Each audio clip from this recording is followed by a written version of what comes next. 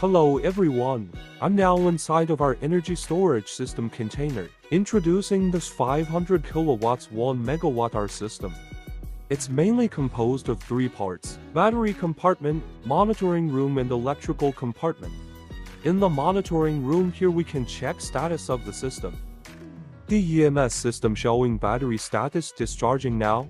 Because we charge the batteries during nighttime, use in the day, cut peaks and fill valleys, reduce electricity costs. From the PECS system, there's alarm monitoring function, alarming when abnormal situation happens. Also we can see the DC voltage, DC current and DC power. Next BMS running data and detailed parameters. The BMS includes BMU, BCM unit, BAMS display, and control unit. The rest parts are Alarm, BAS, Data Report, Data Analysis, Control. Real-time collection and monitoring of information and health status during the operation of the energy storage system.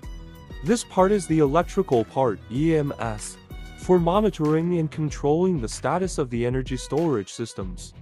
Can be distributed according to the project situation. Can be connect flexibly to various protocols. The controller adopts industrial-grade design, and the system reliability is high. The operating life of the core device can reach more than 10 years.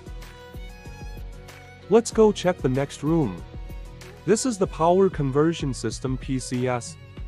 It can control the charging and discharging process of the battery, carry out AC-DC conversion, and can directly supply power to the AC load when there is no power grid.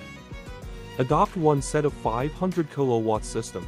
It can be charged and discharged with constant current and constant power, and supports three-stage charging.